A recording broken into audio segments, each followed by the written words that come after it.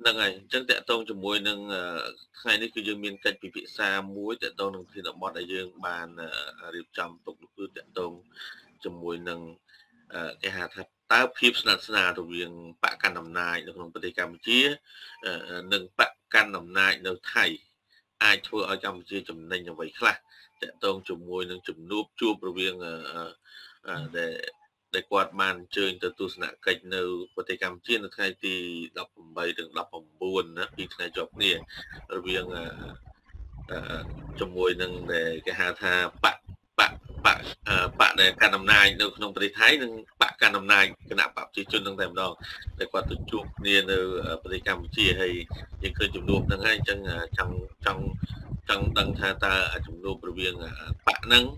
គឺជាជំនួបរវាងគេហៅថាប្រទេសឬក៏នឹងប្រទេសឬក៏ជំនួបតបៈនឹងបៈឬក៏គ្រួសារជាមួយនឹងគ្រួសារអានេះវាជាជំនួបមួយដែលយើងគិតថាក្នុងក្នុងរជ្ជកាលនៃការគ្រប់គ្រងរបស់ឪពុករបស់ឪពុករបស់ថ្នាក់ដឹកនាំផ្សេងរៀងខ្លួនគឺលោកហ៊ុនសែនដែលជា ដែលជាអតីតនាយករដ្ឋមន្ត្រីហើយលោកថាក់ស៊ីនហ្នឹងក៏ជាពីមុនគាត់គួតបញ្ចេញក្នុងការដណ្ដើមជានាយករដ្ឋមន្ត្រីនៃប្រទេសថៃផងដែរតែតកតងជាមួយនឹងឥឡូវកូនកូនគាត់បានជួបគ្នាឬក៏យ៉ាងណាយ៉ាងណីទេតកតងជាមួយជំនួបនេះយើង អាចថាមិនដឹងថាជំនួបនេះគឺជាជំនួបរវាងដែលបាក់និងបាក់ឬក៏គ្រួសារនិងគ្រួសារអានេះសូមអញ្ចឹងជាបន្តនេះខ្ញុំសូមគ្រប់ជើងមកវិញពីដើម្បីចំណាប់អារម្មណ៍បន្តិចព្រោះដោយសារព្រះអង្គគាត់ដាច់ព្រះអង្គដាច់តកតងនឹងសេវាអ៊ីនធឺណិតនឹងគឺមានបញ្ហាបន្តិចអញ្ចឹងសូមបងតារាមុនចាស់ហ្មងអញ្ចឹងសូមគ្រប់ជើងបងមានតកតងនឹងដួលនេះបាទសូមគ្រប់ជើងបងពេតារាបាទ បាទអរគុណច្រើនលោកគូតបាទតកតងនឹងគេហៅថាពីផលប្រយោជន៍យើងដឹងហើយយើងរស់នៅតាពីសម័យ79មកដល់ការដឹកនាំរបស់លោកហ៊ុនសែនហើយក៏បន្តទៅដល់សហនាយករដ្ឋមន្ត្រីរហូតដល់បច្ចុប្បន្ននេះគឺគេហៅថាបើយើងនិយាយវា 3 3 4ណាវា5អាណត្តិហើយអញ្ចឹងវាអត់មានអ្វីដែលរីកចម្រើននៅផលចំណេញពីប្រទេសថៃទេយើងយើងគិតអស់ផលចំណេញនៅក្នុងប្រទេសថៃដែលជាតំណាក់តំណងរបស់លោកហ៊ុនសែននោះគឺគឺមិនចល័តអឺពលករណាបាទបញ្ជូនពលករមករកចំណាក់ស្រុកមកកាន់ប្រទេសថៃនេះអាហ្នឹងយើងអាចឲ្យវាមិនមែនផ្លិចគុណគេទេអាហ្នឹងផលចំណេញរបស់យើងពីពុកការងារដែលប្រជាពលរដ្ឋថៃគេអត់ធ្វើឲ្យពលកររបស់យើងអាហ្នឹងយើងចំណេញទៅតែបើយើងចំណេញផលប្រយោជន៍សម្រាប់ជាតិមាតុភូមិនោះគឺវាអត់មានទេយើងមើលមានអីដែលលោកខ្ញុំតែងតែលើកឡើងអញ្ចឹងហៅថា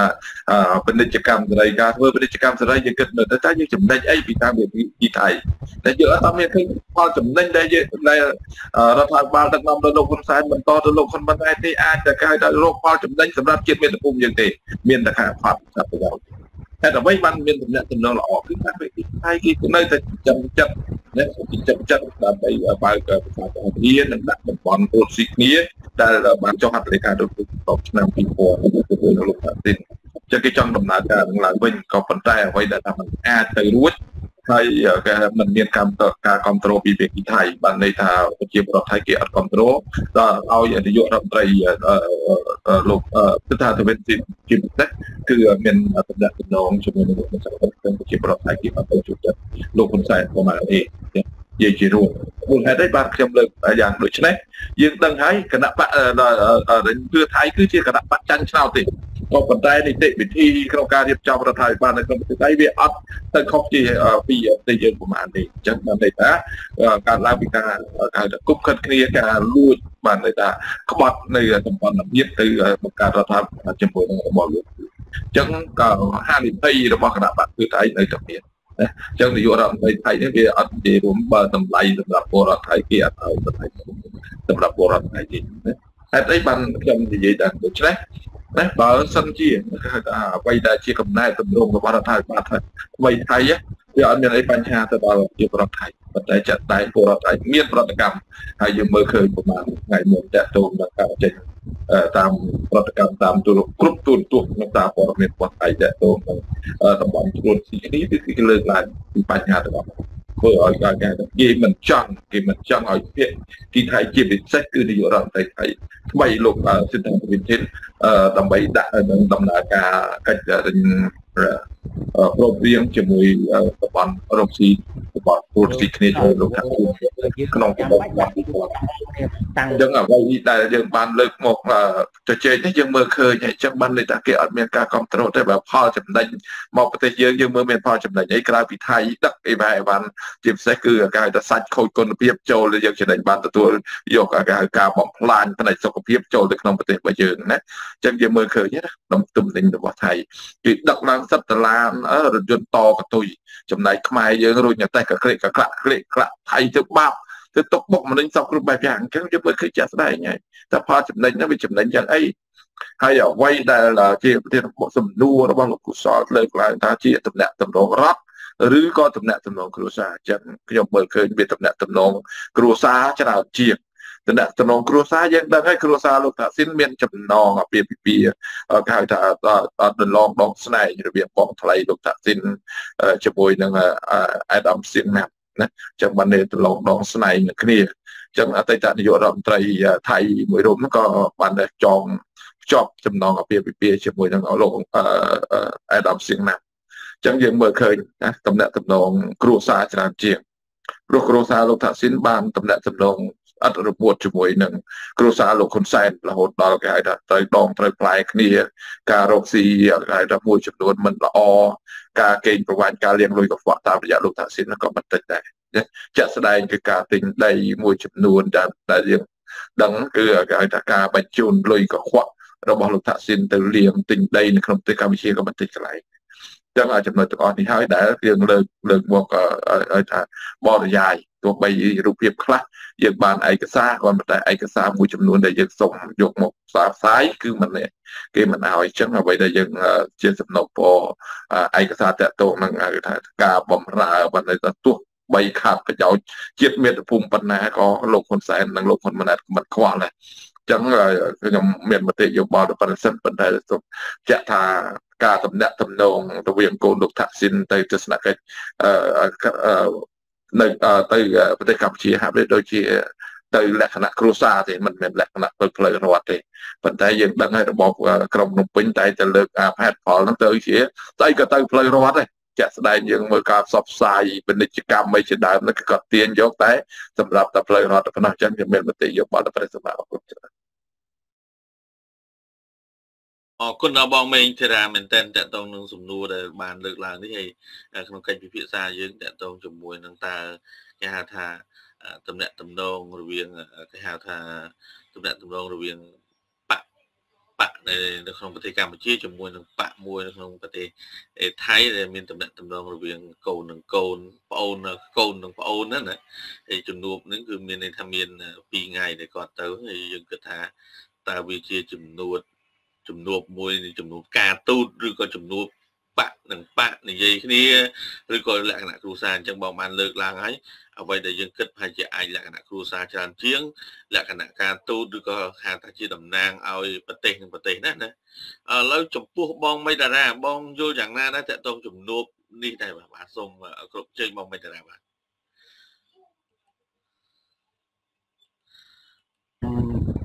យល់ឃើញមិនមែនជាផ្លូវទូតទេព្រោះយើងមើលវិធីការហ្នឹងយើងដឹងហើយបានន័យថារវាងគ្រូសានិងគ្រូសាទេបាទហើយដូច្នេះហើយបើសិនជាការគ្រូសានិងគ្រូសានិងគ្រូសាហើយមានការចរចាគ្នាក្រៅផ្លូវការហើយមានការព្រមព្រៀងគ្នាហើយបើរវិហើយរវាងគ្រូសាគ្រូសាហើយបានបញ្ជាឲ្យអឺ ប្រមុខរដ្ឋាមុខរដ្ឋាភិបាលហើយមុខរដ្ឋាភិបាលជាប់នេះជួបនេះខ្ញុំគិតថាបើជាអ្នកខាតគឺខ្មែរយើងទេអ្វីអ្វីអឺដែលខាតនោះដូចតែនិយាយហើយហើយរឿងព្រេងរឿងបើកច្រកព្រះវិហារអីសិតខ្មែរខាតទេណាហើយរឿងព្រេងហ្នឹងច្បាស់ណាស់អឺដីយើងវាបាត់ផ្ទះហើយដីថៃដូចថានៅលើមាត់ផ្ទះអញ្ចឹងហើយតិចណាស់ ចេះហើយបើសិនជាយើងឲ្យដាក់ឲ្យមានភីហ៊ុនចូលអីចូលអានឹងវាខាតរស៊ីរួមវាគឺខាតវាគ្មានលក្ខណៈណាមួយថៃទៅហាមឃាត់យើងបានផងបាទប៉ុន្តែយើងត្រូវដឹងថាយើងធ្វើនយោបាយវាមិនមែនដើម្បីជាតិទេច្រើនដើម្បីបាក់ពុកឯងបាក់ពុកឯងហ្នឹងឯងដូច្នេះហើយអ្វីដែលជាតិបើសិនជាមានកិច្ចព្រមព្រៀងណាមួយគឺខ្ញុំយល់ថាខាតបាទរីឯចំណែកប្រាស់វិហារវិញ បើសិនជាយើងព្រមព្រៀងឲ្យថៃចូលតាមច្រកថៃហើយយើងគិតមើលថៃធ្វើនំអន់ម្សៅហ្នឹងឃើញទេបាទរបស់ខ្មែរហើយហើយចូលមកយើងដកប្រមាណភាគរយបានប្រមាណភាគរយហើយគេដើរមកគេចាយនៅប្រទេសថៃគេចូលហើយចូល5ភាគគេចេញទៅវិញយើងខាតធ្ងន់ណាបើសិនជាមានកិច្ចព្រមព្រៀងណាមួយយើងបើនិយាយទៅយើង មិនដឹងថាអូលេខអីដាក់ទេបើសិនជាបើសិនជាយើងមានកិច្ចព្រមព្រៀងមែនណា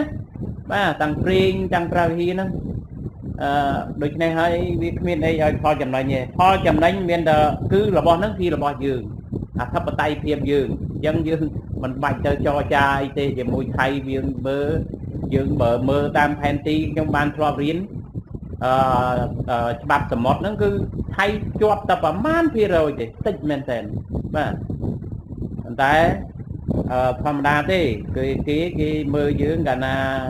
ឃើញយើងចង់បានផលប្រយោជន៍អីគេនឹងទៀមទីហើយអាហ្នឹងធម្មតាទេបើមិនយើងមានកិច្ចព្រមព្រៀងណាមួយខ្ញុំជឿថាយើងជាអ្នកខានបាទហើយករណីទី2ទី3ខ្ញុំគិតថាខ្ញុំឃើញមានសកម្មភាពដូចជាមានកម្មកររោងចក្ររាប់ពាន់នាក់ថ្ងៃនេះចេញបាតកម្មអឺយើងមើលឃើញវិស័យសេដ្ឋកិច្ចខ្ញុំ បើសម្រាប់ខ្ញុំវិញខ្ញុំបារម្ភខ្ញុំបារម្ភពីព្រោះពេលខ្លះស្ថានភាពពេលខ្លះយើងចង់និយាយនាយករដ្ឋមន្ត្រីគាត់អាចគាត់មើលងាយស្ថានភាពដែរពីព្រោះអីពីព្រោះគាត់ធ្លាប់ឈ្នះបាទហើយគាត់ធ្លាប់ឈ្នះហើយសម័យឥឡូវប្រជាជនខ្មែរគាត់ចេះហូប hamburger គាត់ចេះហូបនេះណាតែឲ្យគាត់លូកខ្សែកចាយអត់ទេនឹងវាគ្មានខ្សែកលូកទៀតឥឡូវនេះ ចឹងហើយបើខ្ញុំវិញខ្ញុំព្រួយបារម្ភណាស់វិស័យសេដ្ឋកិច្ចនេះខ្ញុំព្រួយបារម្ភហ្មងហើយបើសិនជារដ្ឋាភិបាលចន្លោះប្រហោងខ្ញុំគិតថាអាចនឹងមានភាពចរាចរណ៍ដែរយើងអ្វីអ្វីវាកើតឡើងយើងមិននឹកស្មានដល់ទេបាទដូច្នេះហើយទេត្រង់ថារដ្ឋាភិបាលបារម្ភមិនបារម្ភមិនដឹងទេតែសម្រាប់ខ្ញុំខ្ញុំបើខ្ញុំវិញខ្ញុំបារម្ភបាទ ព្រោះឃើញកម្មករចេញតវ៉ាហើយតិចទៅវាយគាត់ទៅអីគាត់ធ្ងន់ណាស់បាទដូចយកភ្លើងទៅចាក់អញ្ចឹងប៉ុន្តែដូចអត់ឃើញវាយអត់ឃើញខាត់ដែរខ្ញុំឃើញហាក់បីដូចជាស្នមស្ថានភាពដែរប៉ុន្តែខ្ញុំជឿគាត់ដឹងមិនមែនមិនដឹងទេបាទគាត់ស្វាត់ស្វែងរកព្រៀងរកអីផងនឹងបានថាខ្ញុំសម្រាប់ខ្ញុំខ្ញុំព្រួយបារម្ភណាស់បាទសូមមានតែប៉ុណ្ណេះសិនហើយចង់បកគោលទូនទីទៅវាគ្មិនអឺ ព្រះអង្គចាស់បាទអរគុណបាទបាទសូមសូមអរគុណបងមេតារានឹងឲ្យតកតងជាមួយនឹងចំណុចដែលជាជំនួបនេះគឺបងគិតថាវាអត់មានចំណេញអីទេហើយយើងគិតថាតើតំណែងតំណងនេះអ្វីដែលខ្ញុំបានខ្ញុំសូមចូលរួមបន្តិចចុះតកតងចំណុចមួយនេះគឺខ្ញុំគិតថាជំនួបរវាងប្អូនរបស់លោកថាក់ស៊ីនហើយជាមួយនឹងលោកហ៊ុនម៉ាណែតក៏ដូចជាលោកហ៊ុនសែននៅក្នុងជំនួបនេះ គឺมันមានអីចំណេញសំបីតែបន្តិចពីពីបាក់ប៉ុន្តែបើសិនជាផ្នែកតកតងជាមួយនឹងគ្រួសារឬក៏តកតងជាមួយនឹងបាក់ដែលជាគេហៅថាបកកាន់អំណាចព្រោះតាមធម្មតាបកគណៈបកប្រជាជនគឺជាគណៈបកមួយដែលកាន់អំណាចក្នុងស្រុកខ្មែរហើយក៏ជាគណៈបកមួយដែលនាំមុខហើយក៏ជាគណៈបកមួយដែលយើងគិតថា សម្បូរតែរឿងមួយដែលគណៈបកប្រឆាំងនៅក្នុងប្រទេសកម្ពុជាហ្នឹងគឺធ្វើបាបធ្វើបាបគណៈបកប្រឆាំងគ្រប់រូបភាពទាំងអស់ឲ្យតែនិយាយមិនប៉ះពាល់ឲ្យមិនជាមួយនឹងគណៈបកប្រជាជនមិនបានទេពួកគេមានមេតាវីមួយគឺបកកែជំនាញរឿងបដងនឹងផ្ដាល់តែម្ដងអញ្ចឹងយើងគិតថាតាមធម្មតានៅគណៈបកប្រជាជនគឺនិយាយប៉ះពាល់មួយប្រជាជនដោយលោកសុនឆៃចឹងអាហ្នឹងគឺតកតងមួយនឹងគណៈបកប្រជាជនកាលណានិយាយប៉ះពាល់មួយគណៈបកប្រជាជនប៉ដឹងឯង លៀនអញ្ចឹងមានថាជាអ្វីមួយដែលយើងគិតថាក្នុងជួររបស់គណៈបកប្រជាជន គឺមានមេធាវីមានពួកអ្នកគេហៅថាមុខម៉ាហ្វៀពួកអីច្រើនណាសវោបែបគ្រប់សន្តានទាំងអស់អញ្ចឹងរាល់អ្វីដែលជាគោលនយោបាយឬក៏គេហៅថាជាវិធីសាស្ត្រនៃការដឹកនាំឬក៏ដំណើរការនៅក្នុងគណៈបព្វជិជនគឺគេមានកលល្បិចគេមានអីច្រើនអញ្ចឹងការជួបជំនួបរវាងនេះ ជាជំនួបរវាងជាមួយនឹងកូនរបស់លោកថាក់ស៊ីននេះគឺជាអ្វីដែលខ្ញុំគិតថាវាជាបកដែរគាត់ជាប្អូនគាត់ជាប្រធានបកមួយដែរនៅក្នុងនៅក្នុងប្រទេសថៃគឺបកភឿថៃអញ្ចឹងយើងគិតថាបកភឿថៃក៏វាជាមានយុទ្ធសាស្ត្រដូចគ្នាដែរអញ្ចឹងគេអាចផ្ដោះប្ដូរជាយុទ្ធសាស្ត្ររវាងបកនិងបកវិធីថាទប់ទល់ជាមួយនឹងគណៈបកប្រឆាំងគេមានគោលនយោបាយយ៉ាងណាគេមានវិធីសាស្ត្របែបណាអញ្ចឹងខ្ញុំថាជំនួបនេះគឺជាជំនួបឯកជន រវាងតំណាក់តំណងរវាងពួកគាត់ទាំងពីរហ្នឹងរវាងប្រធានបកទាំងពីរហ្នឹងដែលគាត់ចែករំលែកនៅវិធីសាស្ត្រគ្រប់គ្រងមួយចំនួន របស់បករបស់គាត់ហ្នឹងទៅទៅកាន់ទៅកាន់គ្នាទៅវិញទៅមករបៀបកំចាត់អាចថាវិធីកំចាត់បពប្រឆាំងវិធីដើម្បីយកឈ្នះដៃគូប្រកួតប្រជែងក្នុងពេលបោះឆ្នោតខ្ញុំគិតថាអានេះក៏ជាចំណុចដែលក្នុងការវិភាសានេះផងដែរអញ្ចឹងឥឡូវតកតងចំណុចមួយនេះព្រះអង្គបញ្ឆាបានចូលមកហើយអញ្ចឹងខ្ញុំសូមខ្ញុំកណាសូមក្រាបថ្លែងបង្គំព្រះអង្គហើយក៏សូមជម្រាបសួរព្រះអង្គតកតងជំនួយចំណុចនេះដែលតកតងនឹងការដែលប្រធានបកគណៈបកប្រទេសកម្ពុជាជាមួយនឹងគណៈបកនៅប្រទេសថៃ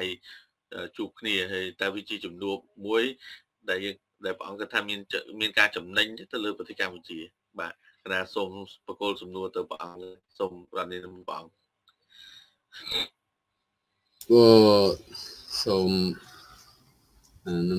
ក្រាបថ្វាយបង្គំព្រះធេរៈធេរៈម្ដងទៀតព្រោះហើយខ្ញុំសូមចម្រើនពរញាតិញោមម្ដងទៀតទៅនេះមិញហ្នឹងភ្លើងដាច់ព្រោះហើយគេប្រើភ្លើងច្រើនគេធ្វើបន់ប្រចាំឆ្នាំហ្នឹងចាប់ដើមថ្ងៃហ្នឹងទៅដល់អញ្ចឹងប្រើភ្លើងច្រើនទៅវាដាច់ទៅទៅភ្លឹបទៅព្រោះហ្នឹងហើយអតេតងជាមួយនយោបាយប្រទេសខ្មែរហើយនឹងប្រទេសថៃ រវាងគណៈបកប្រជាជននិងគណៈបកភឿថៃហ្នឹងអាត្មាថា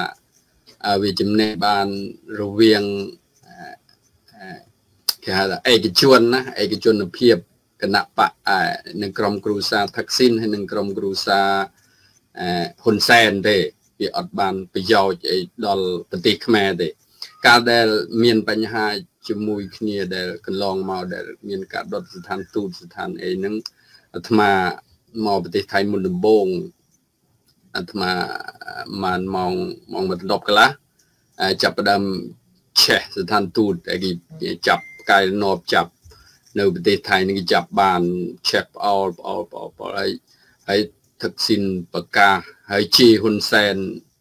សិតអាលងងបោកអាលងងណាអាត្មាអូស្ដាប់មើលទៅថ្នាក់ដឹកនាំរបស់យើងម្នាក់ដែល គេជីគេជីអញ្ចឹងណាគេជីអញ្ចឹងបានន័យថាអាវាដូចវាដូចវា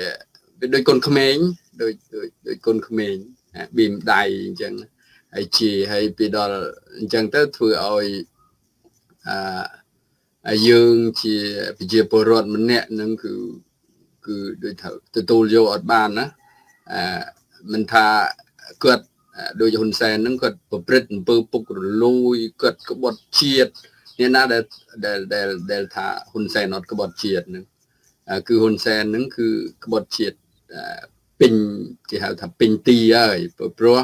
ហើយយើងហេតុហេតុអីបានយើងថាក្បត់ជាតិយើងសង្កេតមើលអំពើរបស់គាត់ធ្វើសពថ្ងៃហ្នឹងគេមានរំលោភបំពានរបស់ប្រជាពលរដ្ឋឲ្យទ្រព្យសម្បត្តិ ប្រទេសជាតិរបស់យើងហ្នឹងអត់អត់នៅបានដល់សពថ្ងៃនេះទេបាត់អស់ដោយធម្មជាតិព្រីឈើដោយសម្បទានដីអីអី90ឆ្នាំហ្នឹងអារបស់ដែលរបស់ជារបស់ខ្មែរវានៅជាពីដូនជីតាមកហ្នឹងវាអស់វាអស់ជារបស់ធម្មជាតិបាត់ហើយវាវាคล้ายទៅជារបស់មួយដែលដែលវាវាអត់មានជីជាតិណាវាវាយកអាស្អីមកនឹងវាអត់បាន អានឹងអីគឺគឺដែលយើងថាគាត់ក្បត់ជាតិគាត់អត់បានធ្វើអីបំរើដល់ប្រទេសជាតិរបស់យើងឲ្យបានពេញលេញឲ្យបានសមស្របទៅតាមគេហៅថាថ្នាក់ដឹកនាំម្នាក់ដែលការពីទ្រព្យសម្បត្តិរបស់ប្រទេសជាតិនឹងត្រូវតែមានចំហរឹងត្រូវតែគិតគូរពីរឿងផលប្រយោជន៍ប្រទេសជាតិពីដល់រវាងគណៈបកហើយនឹងអ រាជរដ្ឋាភិបាលគណៈបកភឿថៃហើយនិងរាជរដ្ឋាភិបាលគណៈបកប្រជាជនហ្នឹងគឺគាត់ធ្វើ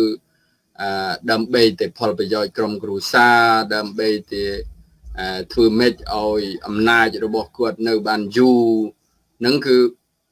អនិកាធ្វើដោយដោយលំលាយគណៈបកសង្គ្រោះជាតិអញ្ចឹងអាត្មាថាគេយកតាមតាមតាមបែបថៃតាមបែបថៃដោយ សម័យដែលគណៈបកអឺថៃរដ្ឋថៃរបស់ថឹកស៊ីនហ្នឹងគេគេគេយកគេយកមកធ្វើអញ្ចឹងហើយគេហ៊ុនសែនយកមកសិក្សាអញ្ចឹងហើយហើយធ្វើតាមគណៈបកអឺតាមប្រទេសថៃរំលាយគណៈបកសង្គ្រោះជាតិហ្នឹងហើយយើងក្លេកទៅមើលវាយើងវាសោកស្ដាយអញ្ចឹងវាសោកស្ដាយថាដូចប្រទេសគេអញ្ចឹងដូចប្រទេសថៃហេតុអីមើលទៅ អឺជាប់ទោសប្រហែលឆ្នាំតឡាការគេគេកាត់ក្តីកំបាំងមុខកំបាំងអីទៅ ផលចុងក្រោយគេគេយកមនុស្សឬគេយកធនធានមនុស្សដែលមានចំណេះចេះដឹងដូចថាក់ស៊ីនអញ្ចឹងហើយគេយកចូលប្រទេសបានពេលដល់យើងយកអត់បានយកអ្នកអ្នកប្រឆាំងហ្នឹងហើយគឺគឺវាភាពខុសគ្នាហើយគេអត់មានពិឆ្លោះគ្នារវាង តែជនជាតិគេទេគេអត់មានតាកតងជាមួយប្រទេសណាអីមកជំពាក់វាវិនដូចប្រទេសខ្មែរយើងទេអានឹងអីគឺភាពខុសគ្នាអញ្ចឹងអផលប្រយោជន៍ដែលដែលដែលដែលគេបានមកគឺគេប្រជ្រុះទៅគ្នាពេលដល់ចុងក្រោយមកគេស្រុះស្រួលគ្នាគេយកមនុស្សចូលមកក្នុងប្រទេសទៅបានអឺដោយដោយថាក់ស៊ីនគាត់ចូលមកអញ្ចឹងអាហ្នឹងឯងគឺគឺភាពខុសគ្នារបស់ខ្មែរហើយនិងរបស់ថៃ យើងយើងសង្កេតតាមដានមើលដូចដូចដូចធ្វើអ្នកកាន់អំណាចធ្វើសពថ្ងៃហ្នឹងវាជាគំរូអាក្រក់ដល់យុវជនចំនួនក្រោយហ្នឹងអឺវាមិនគួរណាស់តែធ្វើអញ្ចឹងណាហើយរឹបយកអូសដីធ្លីទ្រព្យសម្បត្តិគណៈបពប្រឆាំងហើយយកអឺបិទសិទ្ធអត់អោយគណៈបពប្រឆាំងនឹងចូលប្រទេសហើយសួរថាសួរថាប្រទេសប្រទេសរបស់ ខ្មែរនឹងប្រទេសរបស់តកូលតកូលហ៊ុនឬក៏របស់គណៈបកប្រជាជនឬយើងយើងចង់ដឹងថា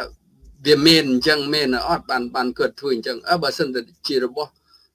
ផ្ដាច់ការរបស់គាត់គាត់ធ្វើអញ្ចឹងវាសមពីដល់អានេះគឺប្រទេសគឺរបស់ប្រជាជនខ្មែរទាំងអស់បើសិនតែមានតកូល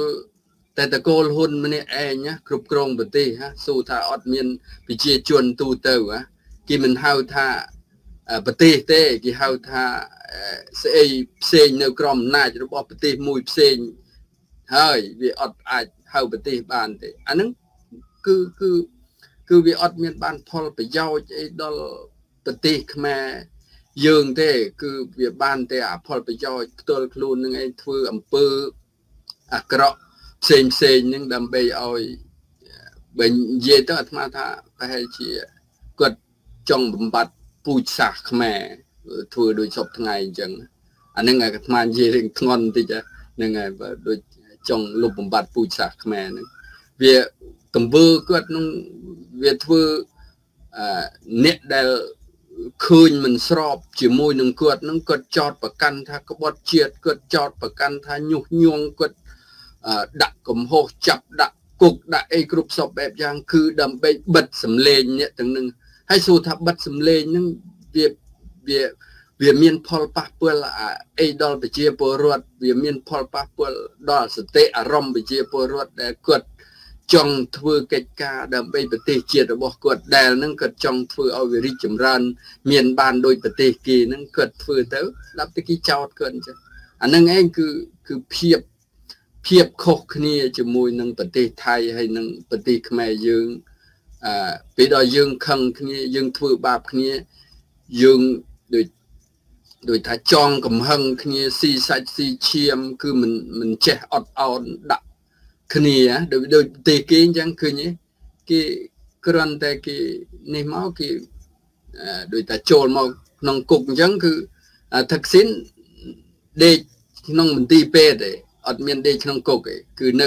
ចូលកិនទៅចូលគុកហើយចេញពីពីគុកគឺទៅមន្ទីរពេទ្យទៅមន្ទីរពេទ្យដេកនៅក្នុងមន្ទីរពេទ្យបានមួយថ្ងៃពីរថ្ងៃអញ្ចឹងដាក់អានេះពងកនេះមកធម្មតាមកពីប្រទេសក្រៅហ្នឹងធម្មតាពីដល់ហ្នឹងគេឈឺអាហ្នឹងជនជាតិថៃគេឆ្ងល់គ្រប់គ្នាហេតុអីបានមកពីប្រទេសក្រៅមកដល់ប្រទេសថៃហ្នឹងហេតុអីបានគេឈឺត្រូវទៅដាក់អានេះដើម្បីការពារ កនឹងវាអត់មានអីហ្នឹងគេឆ្ងល់ណាគេឆ្ងល់ហ្នឹងគេឆ្ងល់ហើយហើយគាត់បានចេញទៅទៅ បានទៅខេត្តឈៀងម៉ៃរបស់គាត់ទៅ គឺតែអាត្មាថាអឺនៃការធ្លាក់ចុះប្រយោភាពរបស់គាត់នឹងគឺស៊ូគណៈបកឈ្មោះទៅមុខគាត់បានទេបើគាត់ធ្វើធ្វើនឹងគាត់ធ្វើធ្វើអញ្ចឹងនឹងគឺគាត់អែបអបនៅ ក្រមផ្ដាច់ការប្រទេសថៃពូកទាហានណាដែល អានឹងតកតងមួយប្រទេសថៃហើយក៏តកតងជាមួយនឹងប្រទេសខ្មែរយើងនឹងវាវាវាវាវាជាមួយពូកផ្ដាច់ការហ្នឹងឯងជាមួយផ្ដាច់ការហ្នឹងហើយគេគេបញ្រៀនគ្នាទៅវិញទៅមកទៅដើម្បីតាមការពិតហ្នឹងគឺបញ្រៀនអឺថាក់ស៊ីនហ្នឹងក៏បរៀនហ៊ុនសែនធ្វើម៉េចធ្វើម៉េចហ្នឹងគឺយកបែបតាមប្រទេសថៃដែលគេធ្វើទៅដាក់គាត់អញ្ចឹងទៅហើយធ្វើអញ្ចឹងចុះ ហេតុអីបានបានថាក់ស៊ីនគាត់បរៀនអញ្ចឹងព្រោះប្រទេសខ្មែរវាអត់មានស្ដាច់រឹងមាំឬពុកទាហានអីរឹងមាំដូចប្រទេសថៃទេព្រោះហ៊ុនសែននឹងឯងគឺវាមានអំណាចជាងស្ដាច់ជាងប្រជាពលរដ្ឋទាំងអស់អញ្ចឹងបើហ៊ុនសែនធ្វើអីគឺធ្វើបានអញ្ចឹងគឺថាក់ស៊ីនគាត់គាត់គាត់បង្រៀនវិធីថាធ្វើអញ្ចឹងអញ្ចឹងអញ្ចឹងទៅឬហ៊ុនសែនអាចបង្រៀនពីប្រទេសខាងកើត ទេមករបបកុម្មុយនីសហ្នឹងក៏វាវាយកអាបែបថាក់ស៊ីនហ្នឹងគឺបែបសេរីនិយមអញ្ចឹងទៅហើយរបបខាងកើតហ្នឹងយកបែបកុម្មុយនីសនិយមអញ្ចឹងទៅគឺនឹងអីគេយកមកបោកសរុបគ្នាគឺគាត់នៅក្នុងអំណាចបានយូរតែអំណាចហ្នឹងវាអត់នៅស្ថិតថេរបានរហូតទេជាមួយទៅដល់ដំណាក់កាលមួយដែលប្រជាជនទ្រាំបានហ្នឹងគឺអាចក្រោកឡើងប្រឆាំងឬតវ៉ាដើម្បី អឺដូចដូចសម័យដែលប្រទេសថៃដែលក្រោកឡើងទាំងអស់គ្នាអ្នកសិក្សាមិនថាគ្រប់សន្ទាប់ទាំងអស់ទាំងវិយុវិជនទាំងអ្នកសិក្សាទាំងមនុស្សធម្មតាទូទៅហ្នឹងគឺក្រោកឡើងគេមានពាក្យមួយថាអឺគ្រាប់កំភ្លើងមិនមែនច្រើន ជាងមនុស្សទេអញ្ចឹងមនុស្សវាច្រើនជាងគ្រាប់កំភ្លើងពេលដល់អញ្ចឹងអាគ្រាប់កំភ្លើងហ្នឹងប្រជាជនលេងខ្លាចហើយពេលដល់លេងខ្លាចគឺ គាត់ហ៊ានបាញ់បាញ់ទៅបាញ់ទៅបងប្អូនគ្នាឯងបងហើយបើសម្រាប់ប្រជាជនច្រើនដឹងហើយសួរថាគាត់នៅក្នុងប្រទេសបានទេបើសិនទេគាត់វាបានដូចថាគាត់ក្តោបក្តាប់អំណាចបានបិទសិតហើយហើយគាត់នៅប្រទេសមិនបានអាហ្នឹងគឺគឺអានឹងឯងគឺឃើញទេដូចគេធ្វើអឺដូចអឺសម័យនៅប្រទេសថៃចំនួនយូរហើយហ្នឹងគេហៅថាព្រឹទ្ធសភាគ្មានហ្នឹងណាអានោះវាអឺ វាជាជាមួយរឿងមួយដែលដែលដែលដែលដែលប្រទេសថៃបានប្រជាធិបតេយ្យមកដល់សពថ្ងៃហ្នឹងគឺបានដោយវិធីហ្នឹងហើយខ្មែរយើងវាអត់ទាន់មានអញ្ចឹងណាបើថាស្មាថាបើសិនជាគៀបសង្កត់ធ្វើបាបប្រជាជនដោយសពថ្ងៃអញ្ចឹងអាត្មាថាប្រជាជនមិនមិនមិនមិនមិនទ្រាំនៅបានណាវាអាចក្រោកឡើងប្រឆាំងតវ៉ាហ្នឹងគឺអាត្មាថាអានឹងឯងគឺដល់ដំណាក់កាលគឺ គាត់លេងទប់លេងបានហើយគឺគាត់គិតថាគ្រប់កំភ្លើងវាវាតិចជាងមនុស្សមនុស្សវាច្រើនជាងគ្រប់ភ្លើងអញ្ចឹងគាត់លេងខ្លាចឲ្យគ្រប់កំភ្លើងហ្នឹងអញ្ចឹងអានឹងឯងគឺគឺអាត្មាចូលមកចាប់អារម្មណ៍តាកតងមួយគណៈបកពីការអំណាចរបស់ប្រទេសខ្មែរយើងហើយគណៈបកកណ្ដាលអំណាចរបស់ថៃ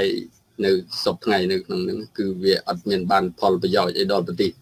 ជាតិទេបើថៃគេបានប្រយោជន៍អាត្មាបើគិតមើលទៅថៃបានប្រយោជន៍ច្រើនជាងខ្មែរពីដល់ខ្មែរអត់បានប្រយោជន៍ទេបានប្រយោជន៍អំណាចផ្ទាល់ខ្លួនរបស់គណៈបកប្រជាជនប៉ុណ្្នឹងឯងពោសូមចំណានពោខ្ញុំកណាសូមអរគុណព្រះអង្គមែនតើតកតងនឹងអឺចម្លើយនេះគឺយើងគិតថាវាជាចម្លើយមួយដែលត្រឹមត្រូវហើយខ្ញុំកណាគ្រប់គ្រងហើយបងប្អូនប្រិមិត្តក៏បានស្ដាប់ហើយដែរ តកតងនឹងអ្វីដែលជាជំនួបរវាងមេបកមួយមេបកនៅក្នុងប្រទេសទាំងពីរនេះគឺអ្វីដែលជាចំណេញគឺខ្ញុំគិតថាចំណេញគឺតកតងនឹងវិធីសាស្ត្រគោលនយោបាយរបស់គណៈបករៀងខ្លួនទេតែបើសិនជាជំនួសរបស់ជាតិព្រោះតែថាមិនបានខ្ញុំនិយាយចឹងគណៈបកប្រជាជនវាដឹកនាំប្រទេសដូចជាមិនមានអីដែលធ្វើឲ្យប្រទេសខ្មែរនឹងរីកចម្រើន ទេណាវាធ្វើឲ្យពលរដ្ឋស្រក់ទឹកភ្នែកធ្វើឲ្យពលរដ្ឋនឹងបាត់ដីធ្វើឲ្យពលរដ្ឋនឹងវេទនាយំស្រែកហើយកន្លងមកថ្មីថ្មីនេះគណៈបព្វជិជននឹងគឺគឺគឺជាអ្នកដឹកនាំប្រទេសអញ្ចឹងគណៈបព្វជិជនគាត់ធ្វើរឿងមួយដែលប្រជាពលរដ្ឋខ្លួនឯងនឹងមិនពេញចិត្តតតែសោះតកតងនឹងការរំលោភបំពានដោយដោយម្សិលមិញនៅលើបឹងតមោកអីចឹងចោះ តកតងនឹងការហែងញាត់ហែអីដែលទៅដាក់នៅដល់ព្រះបរមរាជវាំងហើយក្រសួងខាងព្រះបរមរាជវាំងមិនទទួលយកញត្តិរបស់ពលរដ្ឋទៅទៀតយើងគិតថាវាជារូបភាពមួយដែលអាជ្ញាធរគាត់ប្រើអំពើហិង្សាទៅលើពួកគាត់ណាវាជារូបភាពមួយផ្សេងផ្សេងនៅខាងព្រះវិហារនឹងដូចគ្នាគឺដេញពលរដ្ឋដូចបាញ់សត្រូវរវាងប្រទេសពីរអញ្ចឹងដូចសង្គ្រាមរវាងសត្រូវឬស៊ូពូជបណ្ដោយណា ដេញចាប់គ្នាអូមិនធម្មតាទេខ្ញុំឃើញសំណោះខ្លាំងណាស់ខ្មែរខ្មែរជាជាជាខ្មែរណាខ្មែរដូចគ្នារវាងអាញាធរនិងពលរដ្ឋដែលពលរដ្ឋគាត់អត់មានអីសោះហើយគាត់គាត់លើកដៃទៅរួចគាត់ធ្វើទៅរួចអានេះយើងឃើញទាំងអស់គ្នាបងប្អូនប្រិយមិត្តយើងឃើញទាំងអស់គ្នារូបភាពដែលសំណោះសំណោះមួយចំនួនគឺយើងមើលទៅគឺពិតជាសំណោះពលរដ្ឋខ្មែរយើងមែនតែន អានេះជាអ្វីដែលយើងឃើញកន្លងមកខ្ញុំសូមលើកសំណួរមួយសួរទៅដល់បងបងមេងសេរាតកតងជំនួបនេះអ្វីដែលយើងគិតគឺមានអត់ចំណេញអីដល់ពលរដ្ឋទេប៉ុន្តែវាតកតងជាមួយនឹងគណៈបកប្រជាជនជាមួយនឹងគណៈបកพืថៃ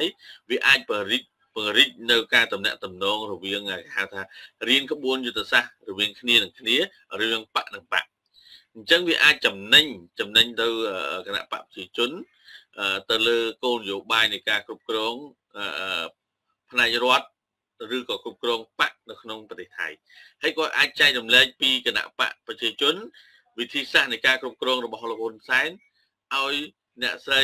ដែលជាប្អូនបង្កើតរបស់លោកថាក់ស៊ីននឹងដឹងពីវិធីគ្រប់គ្រងដែលអាចប្រើយុទ្ធសាស្ត្រក្នុងការគ្រប់គ្រងដូចនៅក្នុងប្រទេស កម្ពុជាចឹងមកដឹកនាំនៅក្នុងថៃអាចថាយូរឆ្នាំអីចឹងទៅខ្ញុំមិនដឹងថាវិច័យរំលែកយ៉ាងម៉េចអញ្ចឹងសំណួររបស់ខ្ញុំចង់សួរថាតើអាការដែលជំនួបនោះវាអាចទេក្នុងការវិភាសាអំពីវិធីសាស្ត្រនៅការគ្រប់គ្រងគណៈបករវាងរវាងពិភាក្សាអំពីគណៈបកគោលនយោបាយរបស់គណៈបករៀងៗខ្លួនទៅលើទៅលើជំនួបនេះបាទសូមគុំជ័យបងហ្នឹងហើយ បាទអរគុណច្រើនលោកគ្រូសំអ្វីដែលជាការលើកឡើងវាជារឿងត្រឹមត្រូវហើយព្រោះកាលណាលោកហ៊ុនសែនគាត់តែងតែប្រព្រឹត្តនៅទង្វើអាក្រក់ច្រើនពេកដែលចឹងគាត់ចិត្តតែព្រួយបារម្ភអញ្ចឹងគាត់អត់មានពីណាទៅបិទទេព្រោះយើងដឹងហើយគណៈបកប្រឆាំងគឺនយោបាយមិនកែថាមិនគ្រប់គ្រងប្រជាពលរដ្ឋយួនជាពិសេសគឺរដ្ឋាភិបាលយួនតែម្ដងអញ្ចឹងលោកហ៊ុនសែនគាត់ថាបកប្រឆាំងមានលទ្ធភាពតិចណាស់ដែលអាចចូលចូលតាមច្រកព្រំដែនខាងយួន ហើយបើច្រកព្រំដែនថៃនេះគឺមានការហានិភ័យខ្ពស់សម្រាប់រដ្ឋាភិបាលលោកហ៊ុនសែនគឺរដ្ឋាភិបាលផ្ដាច់ការណាបន្តមកដល់កូននេះហើយអ្វីដែលគេហៅថាជារឿងលេងសើចមួយគេថារបបណាបបធបតីណាគេថាបបធបតីហ្នឹងយើងកាលយើងធ្លាប់ឮថា3អឺអ្វីអូខ្ញុំអត់បើកមិនបាទអរគុណច្រើនលោកគ្រូសណាវា ពិតណាស់ដែលអ្វីដែលយើងបានលើកឡើងអំបញ្ញមិញនេះយើងគិតថាវាអត់មានផលចំណេញអីសម្រាប់ប្រទេសកម្ពុជាទេផលចំណេញសម្រាប់លោកលោកហ៊ុនសែនគឺការពារនៃហានិភ័យការព្រួយបារម្ភអំពីការប្រមូលផ្ដុំកម្លាំងគ្នានៅក្នុងប្រទេសថៃដើម្បីចូលទៅក្នុងប្រទេសកម្ពុជាគឺគឺជាសេចក្តីព្រួយបារម្ភរបស់លោកហ៊ុនសែនណាគឺជាសេចក្តីព្រួយបារម្ភរបស់គាត់អញ្ចឹងគាត់ធ្វើម៉េច ដើម្បីឲ្យមានតំណែងតំណងល្អហើយក៏សាមគ្គីគ្នារវាងលោកថាក់ស៊ីនជាមួយនឹងគ្រួសារលោកហ៊ុនសែនដើម្បីធ្វើម៉េចពូនផ្ដុំអំណាចតកូលទាំងពីរថាក់ស៊ីនហ៊ុនសែននេះដើម្បីឲ្យគេហៅថារីកដុះដាលអញ្ចឹងបានន័យថាអ្នកនយោបាយចាស់ភាសាมันអាចធ្វើអ្វីបន្តទៀតបានគេចង់ណែនាំឲ្យកូនសហប្រតិបត្តិការដូចអ្វីដែលឪនឹងឪនឹងបានធ្វើកន្លងមក ក៏ប៉ុន្តែអ្វីដែលយើងមើលឃើញដែលយើងបានលើកណាបានលើកឲ្យជារឿងលេងសើចមួយផងដែរគេរបបគេរបបបបធបតីចឹងបបធបតីយើងមើលណាដំបូងឡើងចាំពីសម័យ3ឆ្នាំ8ខែ20ថ្ងៃគឺពលរដ្ឋហូបបបណារបបបបមកសាឥឡូវយើងមករបបបបធបតីមួយទៀតណាមើលទៅបែបជាមិនផុតពីអ្វីដែលគេហៅថាសម័យ3ឆ្នាំ8ខែ20ថ្ងៃបានច្រឡងចម្លងណាគេហៅថាមកដល់ របបថ្មីទេចឹងយើងមើលឃើញណាការវិវាទតបសារពើមិនដែលណាដែលតំណាងរាជឬក៏រដ្ឋាភិបាលចេញមកដោះស្រាយអត់គឺក្រៅពីការថាលាញឲ្យមានបញ្ញាបត្រ បាត់ណាបាត់ណៃពេញទៅពេញដីដែលយើងចាក់ស្ដែងមានតាំងពីការវិវាទដីធ្លីមានការវិវាទក្នុងសង្គមណាហើយអ្វីដែលយើងមើលឃើញនេះគឺការខ្សែធនដែលបាទនៅតែខ្សែធនរបស់អុកញ៉ាអុកញ៉ាខ្លះចូលគុកតារាចម្រៀងខ្សែធនអស់ហើយអត់មានសល់អីទេអញ្ចឹងអាទាំងអស់ហ្នឹងហើយដែលលោកហ៊ុនម៉ាណែតមិនអាចខ្ចប់មិនអាចទុកបានទេពីហានិភ័យសពសារពើទាំងអស់ហ្នឹងអញ្ចឹងយើងមើលឃើញណាយើងមើលឃើញជាក់ស្ដែងដោយករណីអុកញ៉ាមួយចំនួនមិនមួយចំនួនភាគច្រើនដែលយើងគេថា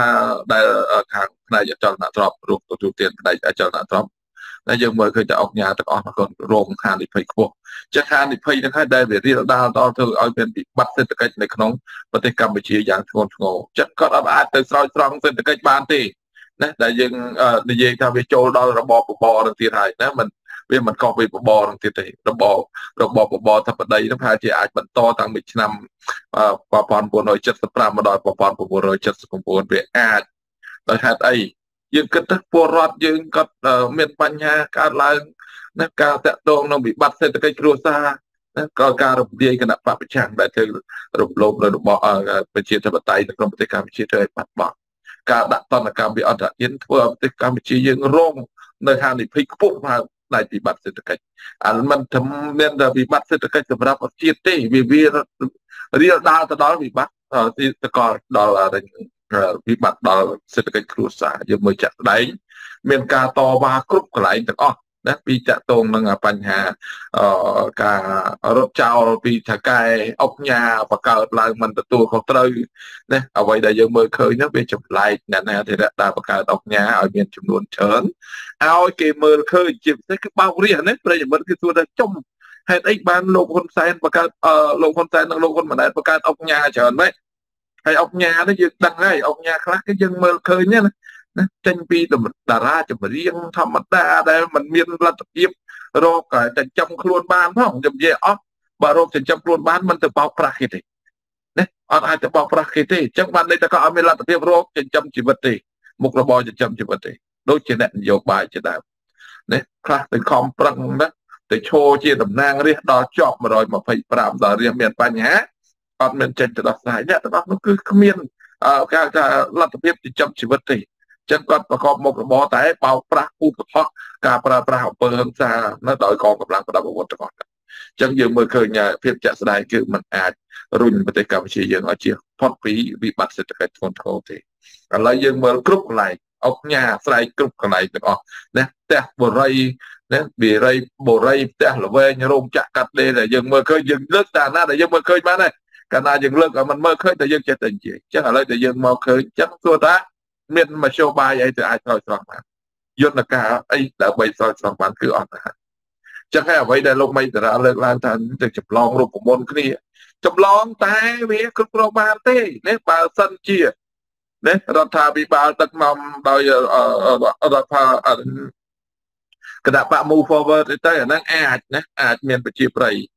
ភាពខ្លះ វាជួយលោកហ៊ុនសែនបានតែគណៈបកនេះចាញ់ឆ្នោតដូចគ្នាអញ្ចឹងចាញ់ឆ្នោតដូចគ្នាมันអាចទៅជួយស្រោចស្រង់ស្រោចស្រង់តែខ្លួនឯងស្រោចស្រង់មិនរួចផង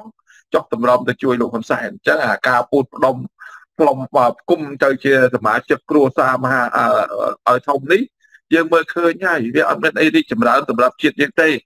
ណាហើយអ្វីដែលប្រជាពលរដ្ឋយើងមើលឃើញហើយมันផ្ដល់តម្លៃនោះគឺតកតងលោកហ៊ុនម៉ាណែតហ្នឹងឯង កតនាក៏តែងតែអូសទាញវិនិយោគនេះវិនិយោគនោះយើងមើលឃើញតាមអាឡានកាន់អំណាចរបស់គាត់ក៏ដើរគ្រប់កន្លែងទាំងអស់រហូតដល់ជួលជួលប៉ាន់ឡូផ្សាយណាជួលតែបានអីមកវិញណាហើយសិតតែមានអ្នកខលពីអាមេរិកមកថាអេក្រុមហ៊ុនជប៉ុនច្រើនណាស់គេមកមកវិនិយោគនៅក្នុងស្រុកខ្មែរខ្ញុំសួរថាជប៉ុនជាមួយអាមេរិកកុំទៅមើលជប៉ុនកុំទៅមើលកូរ៉េខាងត្បូងកុំទៅមើលសិង្ហបុរីណាកុំទៅមើលអូស្ត្រាលីកាណាដា ជាជាពិសេសគឺប្រទេសសហគមន៍អឺរ៉ុបបើសហរដ្ឋអាមេរិកពេលនេះមិនតាន់ទទួលស្គាល់ហ៊ុនម៉ាណែតជានាយករដ្ឋមន្ត្រីនៅឡើយទេនេះនេះរដ្ឋាភិបាលអាមេរិកដែលប្រកាសទទួលស្គាល់លោកហ៊ុនម៉ាណែតជានាយករដ្ឋមន្ត្រីសហគមន៍អឺរ៉ុបណាមួយប្រទេសអឺរ៉ុបណាមួយដែលប្រកាសទទួលស្គាល់ហ៊ុនម៉ាណែតជានាយករដ្ឋមន្ត្រីប្រទេសកម្ពុជាចុះហេតុអីបានហ៊ុនម៉ាណែតចេះតែទៅទស្សនកិច្ចនោះបាន តំណាងគេគុយអង្គុយកន្លែងណាគេឲ្យរកដំណោះស្រាយនយោបាយកន្លែងនោះ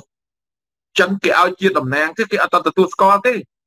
ដូចជាករណីទៅប្រទេសអូស្ត្រាលីថ្ងៃមុនហ្នឹងគេឲ្យយើងជាយាមដោះស្រាយវិបត្តិនយោបាយគេឲ្យយើងដោះស្រាយទៅកន្លែងណាក៏គេឲ្យយើងជាយាមដែរចឹងហ៊ុនម៉ាណែតនេះមិនតាមស្របច្បាប់នៅឡើយទេចឹងប្រទេសដែលទទួលស្គាល់ហ៊ុនម៉ាណែតឥឡូវទៅពិបាកទៅយក យកចិត្តចិនទៀតណាឥឡូវនេះតែស្រួលទៅសុំចិនផ្ដល់សេចក្តីសម្រាប់ឆេងសុយនេះចិនតសេចក្តីទុកចិត្តហ៊ុនម៉ាណែតថាឈប់ទទួលស្គាល់ដែរនោះហើយតែខ្ញុំនិយាយដូចនេះដែលខ្ញុំនិយាយពីប្រភពពាណិជ្ជកម្មពាណិជ្ជករដែលខ្ញុំស្គាល់មិនច្រើនមិនតិចជាង100នាក់ទេណាលោកមីតដារដឹងហើយពាណិជ្ជករណាខ្លះដែលខ្ញុំស្គាល់គាត់លើកឡើងម្នាក់ម្នាក់បានតែត្រៀមនេះគេថាចិននឹងបញ្ជូនអ្នកវិនិយោគប៉ុណ្ណេះប៉ុណ្ណេះប៉ុណ្ណេះឃើញតែមកតំណតំណងបោកតបាយហូបទេអញ្ចឹងបាននេះគណៈប្រតិភូមកគេបោកបាយខ្មែរហូបបានន័យថាគេគៀកក្រុមអុកញ៉ាដែលលោកហ៊ុនម៉ាណែតបង្កើតជាមួយលោកហ៊ុនសែននោះឲ្យចាំទទួលអ្នកវិនិយោគទុនចិនក៏ប៉ុន្តែអ្នកវិនិយោគទុនធម្មតាគេមកយើងត្រូវទទួលតាមពីបាយទឹកសតាគាម្នាក់ម្នាក់រាប់ម៉ឺនដុល្លាររហូតដល់ធ្ងោថាលៀនចង់ទទួលបានលៀនចង់ហើយណាប្រកាសថាលៀនចង់ហើយព្រោះវាអស់អស់តែប្រាក់ដែលអត់បានផលប្រយោជន៍ទេអាហ្នឹងហើយជួថា សង្គមទេតែអាចរួមសេដ្ឋកិច្ចយើងឲ្យដើរទៅមុខបានវាអត់អាចសង្គមទេដោយសារអីដោយសារវិបត្តិនយោបាយអង្គុយកន្លែងណាក៏គេឲ្យទៅដោះស្រាយនយោបាយក្នុងប្រទេសកម្ពុជាដែរចឹងអាចចំណុចទាំងអស់ហ្នឹងហ៊ុនម៉ាណែតមិនតន់ខ្លាយខ្លួនជានាយករដ្ឋមន្ត្រីស្របច្បាប់នៃប្រទេសកម្ពុជាទេ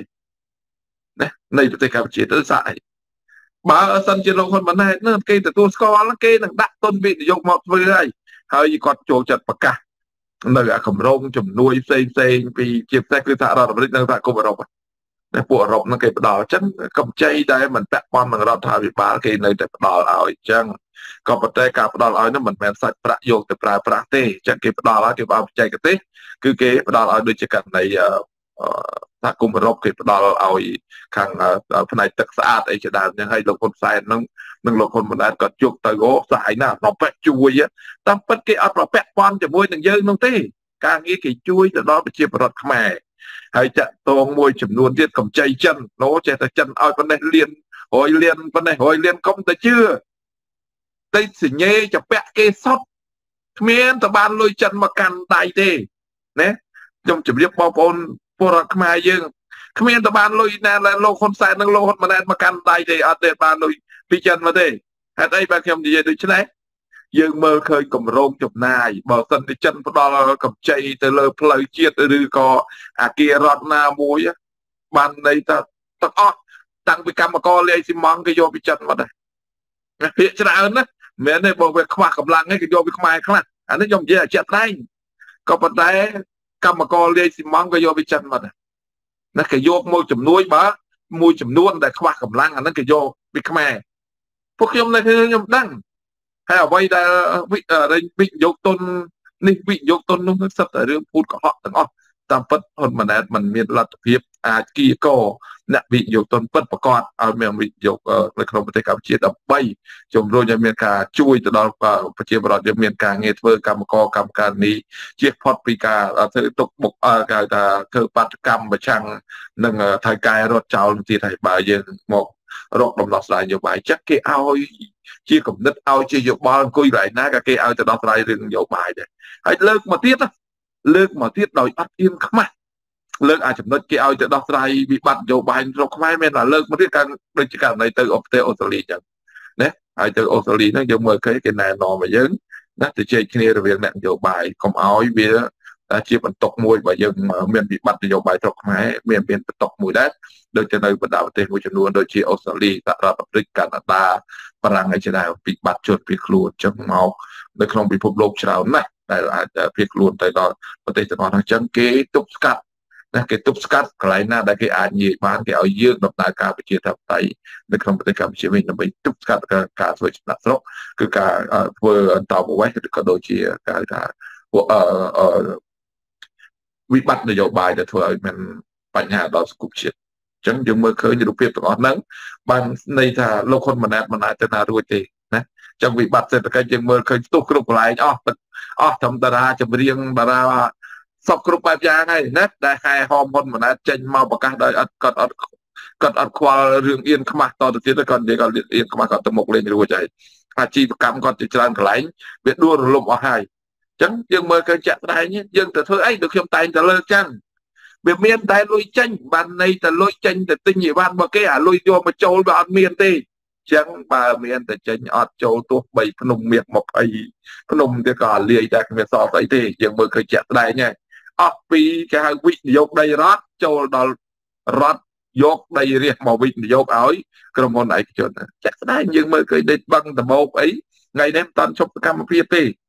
ចឹងខ្ញុំផ្ដល់ណាគំរូទៅដល់អ្នកតវ៉ាបងប្អូនអ្នកតវ៉ាត្រូវឆ្លាតដែរយើងបង្កើតតំបន់នីមួយៗយើងត្រូវណាត់គ្នាឲ្យធ្វើថ្ងៃតែមួយ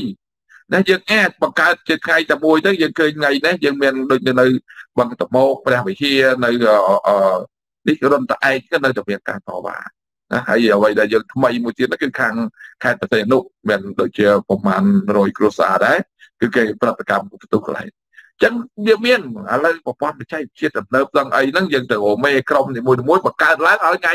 តែមួយព្រមគ្នាដើម្បីដាក់សម្ពាធបើបងប្អូននៅតែបង្កើតរប៉េះរបស់រប៉េះរបស់របបប្រជាការក៏ចេះធ្វើគ្រប់បែបយ៉ាងទាំងអស់គាត់ទិញមួយចំនួនអាណាមួយដែលរឹងមាំគឺគាត់ចាប់ផ្ដើមទិញហើយបើ អញ្ចឹងទេសុំកុំឲ្យបង្កើតណាកុំឲ្យកុំបង្កើតយកណាណាមួយដែលពិតប្រកបណាឲ្យបានសម្រេចជាក្រុមកុំឲ្យគាត់យកឈ្មោះជាតំណាងយកទៅលក់លក់ខ្លួនហើយក៏ទៅទៅករណីខាងនាការអញ្ចឹងនាការដំបងដូចគ្នាការតប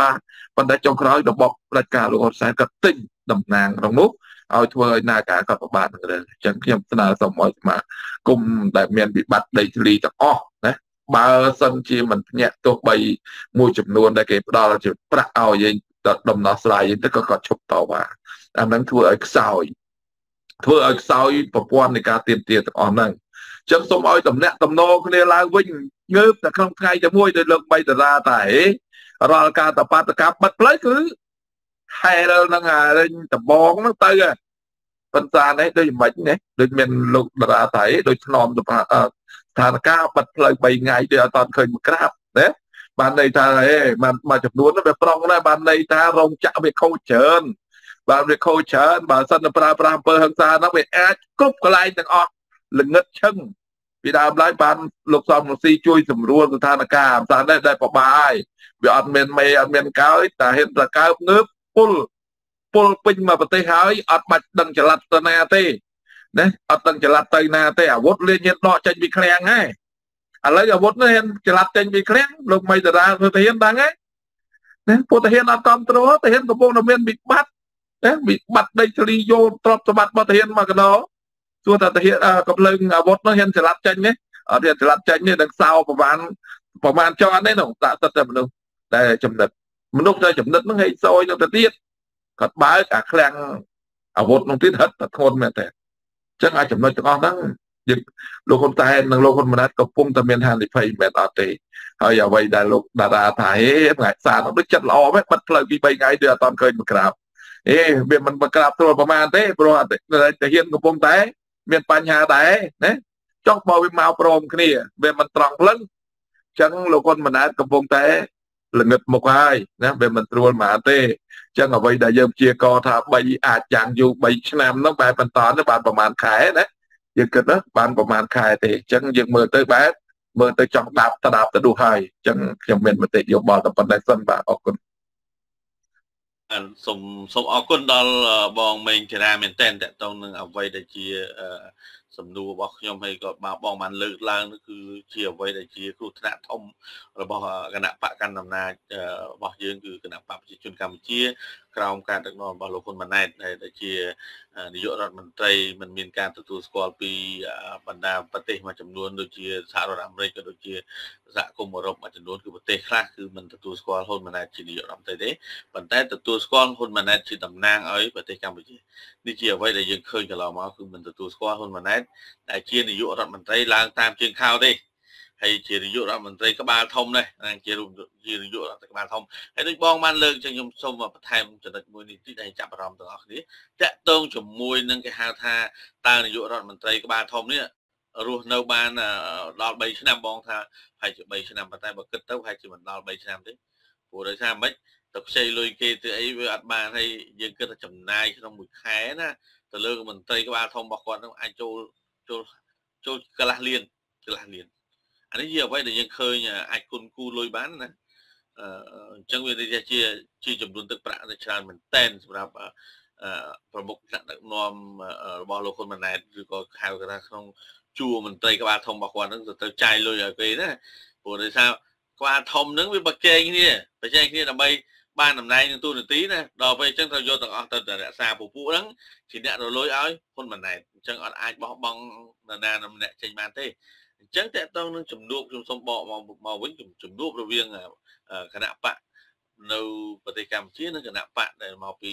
ប្រទេសថៃគឺគណៈបកភឿថៃអញ្ចឹងអ្វីដែលជាគោលបំណងឬក៏គោលចម្បងរវាងគណៈទាំងពីរគឺតកតងជាមួយនឹងឯកភាពគ្នារវាងគណៈបកទាំងពីរផ្ដោះបដូរយោបល់គ្នារវាងគណៈបកជាយុទ្ធសាស្ត្រស្អីមួយជាមួយរវាងគណៈបកទាំងពីរប៉ុន្តែវាមិនមែនជាតំណាង ឲ្យរដ្ឋាភិបាលប្រទេសនិងប្រទេសទេអញ្ចឹងប្រសិនបើគិតពីគោលនយោបាយនិងគោលនយោបាយរបស់ប្រទេសគឺមិនមែនជាជំនួបបែបហ្នឹងទេអញ្ចឹងជំនួបនេះខ្ញុំគិតថាចំណេញរៀងខ្លួនចំណេញរៀងខ្លួន ចំណេញយ៉ាងណាមិនបានខ្ញុំនិយាយថាចំណេញរៀងខ្លួនគណៈបព្វជិជនអាចចំណេញទៅលើគេហៅថាវិធីសាស្ត្រនៃការគ្រប់គ្រងបែបយើងគិតហើយគណៈបកភឿថៃ ចាញ់ទេបងបងបងធានាគាត់លើកឡើងចាញ់ចាញ់ចាញ់ឆ្នោតទេក៏ប៉ុន្តែគាត់អាចជាជាគេហៅជួរដែលប្រកួតប្រជែងឈ្នះបានណាដោយសារគេមានគេហៅថាជាសេរីពហុបកអញ្ចឹងបកដែលមានសម្លេងការគ្រប់គ្រងអញ្ចឹងទៅអាហ្នឹងវាជាអ្វីដែលសុខខ្មែរយើងគឺធ្វើអត់បានទេដោយសារមិនអីដែលយើង50បូក1អញ្ចឹង50បូក1វាវាវាវាលឿនណាអានេះជាចំណុចមួយដែលយើងគិតថានៅប្រទេសកម្ពុជាប្រហែលជាមិនអាចបានទេ ហើយតកតងជាមួយនឹងចែករំលែកគណៈបកប្រជាជនក៏គណៈបកភឿថៃក៏គាត់មានវិធីសាស្ត្រថាអ្នកឯងនៅមិនបានយូរបានយូរមែន38 39ឆ្នាំណាឥឡូវកលេចមកមកខាងនេះអូបងបងមីតារាយ៉ាងណាហើយហ្នឹងហើយសូមបង្ហាញមុខតិចមកហ្នឹងហើយឲ្យប្រិមិត្តបានឃើញផងបាទអញ្ចឹងតកតងនឹងសំណួរដដែលខ្ញុំសូមសួរដល់បងមីតារាតើអាចទេ ក្នុងករណីជំនួបរវាងគណៈបកទាំងពីរហ្នឹងគឺគាត់នឹងចំណេញគ្នារៀងខ្លួនតាក់ទងជាមួយនឹងជំនួបរវាងគណៈបកនិងគណៈបកណាបងគិតថាជំនួបគណៈបកនិងគណៈបកនេះតើគណៈបកប្រជាជនដែលជាគណៈបករបស់ប្រទេសកម្ពុជានឹងចំណេញអីខ្លះពីគណៈបកដែលរបស់ថៃហើយថៃចំណេញអីខ្លះទៅលើប្រទេសកម្ពុជារវាងគណៈបករវាងបកនិងបកខ្ញុំអត់និយាយពីតំណាងឲ្យប្រទេសទេប៉ុន្តែគាត់ថា វាចំណេញរវាងបកនិងបកបាទសូមគុំជ័យបងបាទ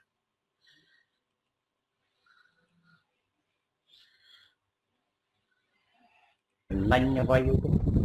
វាគ្រាន់តែជាការយកចិត្តអឺនាយករដ្ឋលោកថាក់ស៊ីនតែប៉ុណ្ណោះហើយតាមពិតជាការទាញទម្លាក់ជាប្រតិភិបលោកថាក់ស៊ីនវិញខ្ញុំគិតថាថ្ងៃក្រោយទៅវា ជាប្រតិភិបរវាងគណៈបកថាក់ស៊ីនហើយនឹងអា forward ហ្នឹងគឺអាគណៈបកចំពោះទៅមុខគឺខ្ញុំគិតថាវាធ្លាក់ចុះទៅវិញទេព្រោះថៃពេលខ្លះគេជាតិនិយមណាបាទហើយថៃគេទេទីសេរីដូច្នេះហើយគេថាថាស៊ីនទៅជួបនឹងនាំឲ្យផលបាក់ដល់ប្រទេសគេអីគេអញ្ចឹងទៅអាហ្នឹងយើងគិតពីប្រយោជន៍ទុគលហើយបាក់នឹងបាក់ប៉ុន្តែ ថៃវាអាចចំណេញដែរចំណេញបើសិនជាមានកិច្ចព្រមព្រៀងអីមួយចឹងបាទហ្នឹងខ្ញុំចង់និយាយដូចនេះហើយខ្ញុំចង់ទាញចូលទៅសេដ្ឋកិច្ចនៅខ្មែរវិញវិស័យសេដ្ឋកិច្ចនៅខ្មែរយើងខ្ញុំឃើញអឺព័ត៌មានគេធ្វើពលាននៅបាត់ដំបងក្បែរផ្ទះខ្ញុំខ្ញុំគិតថាធ្វើពលានហ្នឹងបើអឺទេសចរគ្មានអីគ្មាននោះដូចនេះហើយវាមិនសង្ឃឹមទៅលើវិស័យទេសចរទេនៅពេលនេះបាទវាមិនអាចទៅស្រង់សេដ្ឋកិច្ចអីបានទេការស្រង់សេដ្ឋកិច្ចទៅបាន មានតែការចរចាគ្នាឲ្យមានឯកភាពជាតិឲ្យមានកិច្ចថាកិច្ចព្រមព្រៀងរវាងគណៈបកប្រឆាំងនិងគណៈបកកណ្ដាលអំណាចនឹងស្រុកស្រួលនេះហើយការរៀបចំការបោះឆ្នោតទៅតាមលទ្ធិជាតបតៃទេអានេះបើខ្ញុំយល់ បាទបើសិនជាយើងចង់ស្រង់សេដ្ឋកិច្ចគ្រូសេដ្ឋកិច្ចមកពីណាក៏ទៅឲ្យរួចដែរវាទៅមិនរួចទេបើស្ថិរភាពនយោបាយដូចនេះនោះ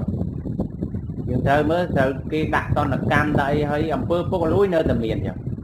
អអំពើពុករលួយអត់អាចបំបត្តិបានទេទោះបីរជ្ជការឈាមថ្មី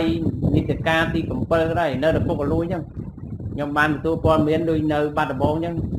ក្រសួងបរិស្ថានអីដើរយកលុយតាមសិប្បកម្មយកទៅហ្មងយកលុយដាក់ជាខែដាក់ជាឆ្នាំហ្មងគ្មានថាខុសអីខុសអីទេมันខុសក៏ត្រូវតែយកដែរ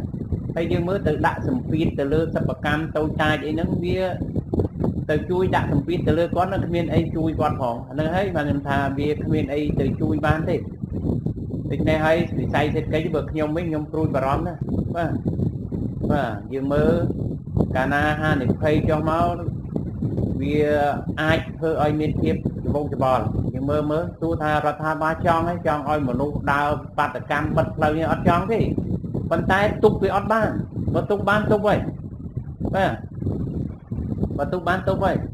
ដូច្នេះហើយវានិយាយត្រំដែរត្រំដែរទៅវាมันអាចមានភាពរីកចម្រើនអីទេបាទដូច្នេះខ្ញុំចង់មានរបបប៉ុណ្ណេះចុះជូនទៅព្រះអង្គគាត់មានពុទ្ធិកាអីបានច្រើនជាងខ្ញុំអរ គុណបងមីតារាមែនតែនសម្រាប់ចម្លើយបងបងណាក្នុងសំណួររបស់ខ្ញុំនេះ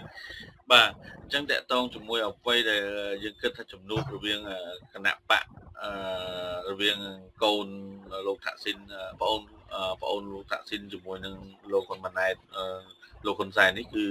អ្វីដែលយើងបដោតគឺចង់និយាយពីតកតងនឹងបុគ្គលឯកតោភាគី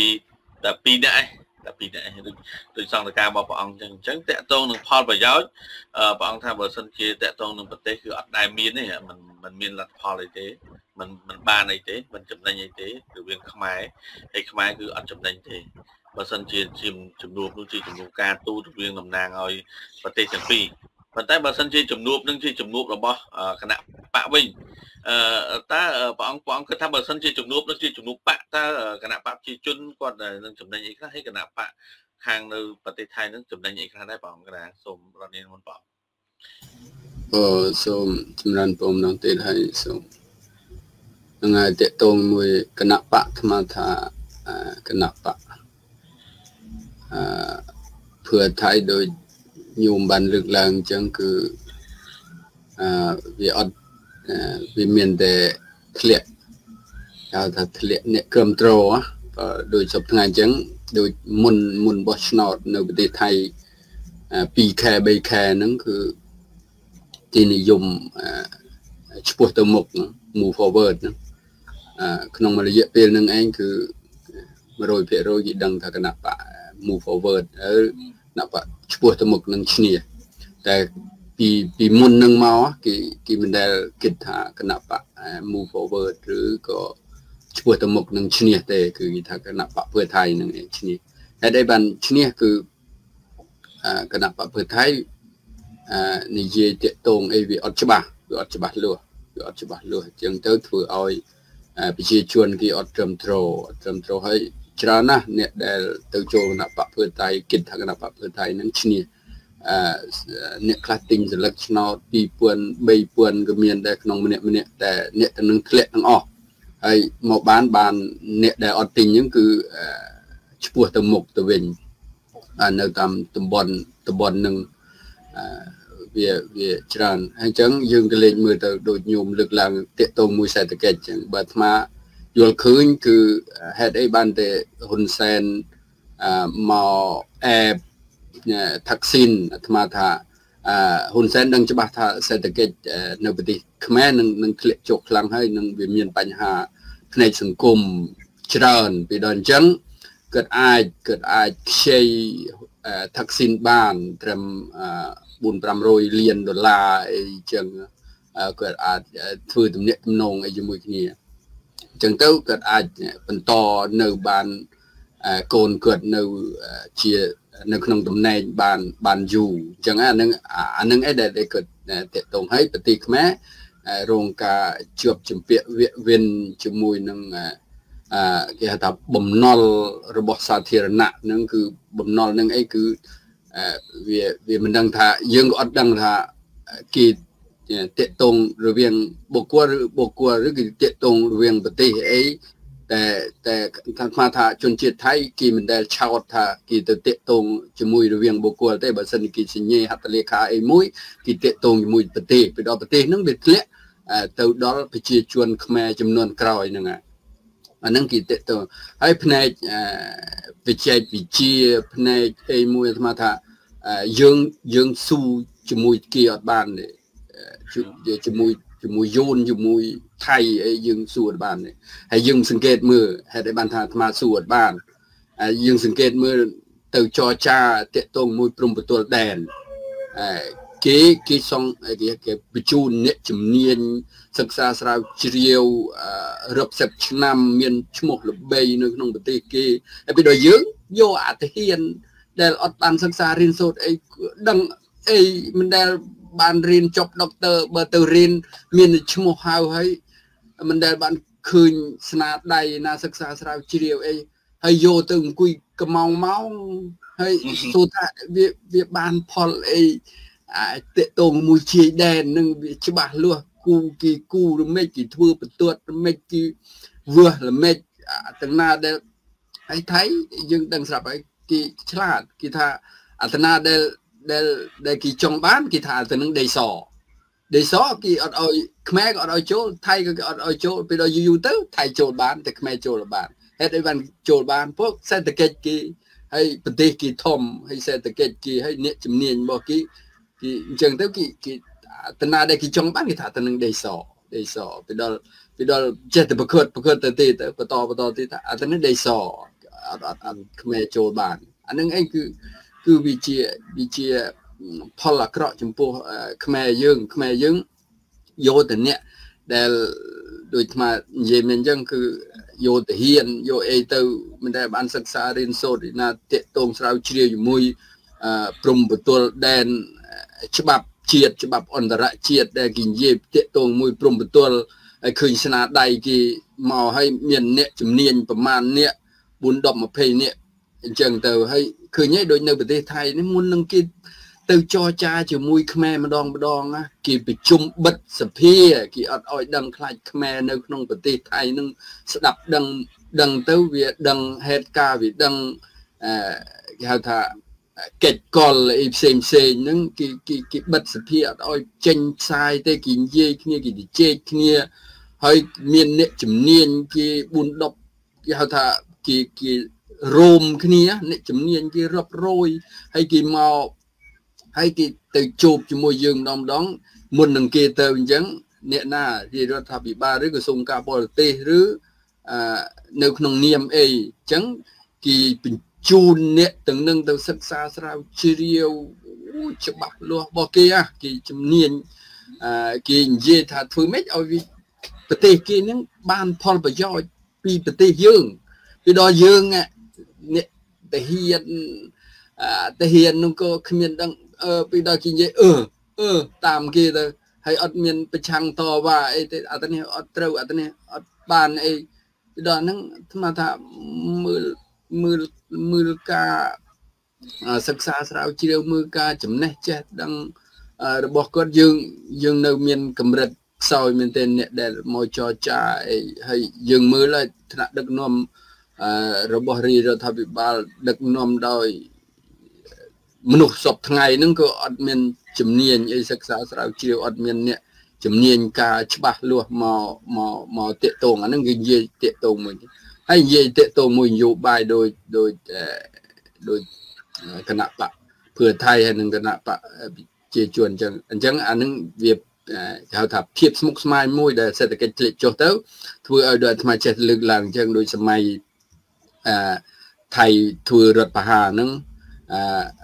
ពីមុនហ្នឹងណាបើបើក្រោយក្រោយហ្នឹងគឺធ្វើរដ្ឋបហាអត់មានអឺស្លាប់មានអីទេគឺគេគេជិះវៀងនៃការសម្លាប់អីផ្សេងផ្សេងពីដល់ពីលើកមុនហ្នឹងមិនប្រជាជនគេក្រោកឡើងមកដូចស្មាលើកឡើងថាថាមនុស្សវាមានតិចជាងគ្រាប់កំភ្លើងណាគ្រាប់កំភ្លើងទេដែលតិចជាងមនុស្សអញ្ចឹងគេប្រជាជនគេក្រោកតវ៉ា តស៊ូទៅបានបានសម្រេចមកហើយបានមានលទ្ធិប្រជាធិបតេយ្យដូចជប់ថ្ងៃអញ្ចឹងអាត្មាថាបើប្រទេសថៃគេគេគេធ្វើអីអត់បានទេព្រោះព្រោះហេតុអីបានគេមនុស្សមនុស្សគេមានចំណេះជំនាញមានចំណេះចេះដឹងច្រើនណាស់មិនថាទាហានមិនថាអឺប្រជាជនទូទៅឬមនុស្សធម្មតាទូទៅនោះគឺគេគេចប់បណ្ឌិតអនុបណ្ឌិតឬយ៉ាងទៀបគឺមនុស្សគេ ត្រឹមថ្នាក់ទី12អីឡើងឡើងទៅដល់អបញ្ញាបត្រអនុបណ្ឌិតបណ្ឌិតអីអញ្ចឹងទៅអញ្ចឹងចំណេះជំនាញរបស់គេនឹងគឺគេគេមានអ្នកចេះដឹងច្រើនពីដល់គេមានអ្នកចេះដឹងច្រើនគេស្ដាប់ហើយរាជរដ្ឋាភិបាលគេស្ដាប់ផងមានដូចរាជរដ្ឋាភិបាលយើងទេគឺមានអ្នកជំនាញអឺមិនថាខាងសេដ្ឋកិច្ចមិនថាខាងអឺជំនាញខាង ព្រំបន្ទល់ដែនអីទេបើសិនណាចេញមកគឺគេគេគេថាងអានឹងមិនជាការពិតបំភ្លេចការពិតអីចឹងបើតាមការពិតនិយាយហ្នឹងគឺនិយាយចង់បានផលប្រយោជន៍ឲ្យប្រទេសជាតិរបស់យើងទេគឺអត់ចង់បានអីទេឲ្យតែរាជរដ្ឋាភិបាលហ្នឹងធ្វើបានផលប្រយោជន៍ហើយគឺប្រជាជនទូទៅវាសบายចិត្តទាំងអស់គ្នាទេអត់មានបានអ្នកណាដែលបានផលប្រយោជន៍យើងគឺប្រទេសជាតិយើងបានផលប្រយោជន៍ពីដល់អញ្ចឹងអានឹងឯង ដែលអាត្មាថាវាមានបញ្ហាហ្នឹងគឺដូចសេដ្ឋកិច្ចអញ្ចឹងសេដ្ឋកិច្ចអញ្ចឹងដែលគេតាកតងជាមួយនឹងក្រុមគ្រួសារនឹងស្មូតស្អិតអីហ្នឹងវាវាអាចយើងអត់អាចមើលដឹងថាតើគេចង់ទៅបណ្ដាក់ទុននៅប្រទេសខ្មែរផឹកគណៈបកភឿថៃហ្នឹងហើយតកូលថាក់ស៊ីនហ្នឹងហើយនឹងតកូលហ៊ុនហ្នឹងគឺអឺបើបើបើនិយាយទៅគឺ គេហៅថាដូចដូចដូចដូចបណ្ឌិតកែមលីគិតលើកឡើងថាណែបើដេកយល់សពអឺក៏វាវាអត់ថាប្រទេសប្រទេសខ្មែរយើងទៅទៅយកដេកយូនអញ្ចឹង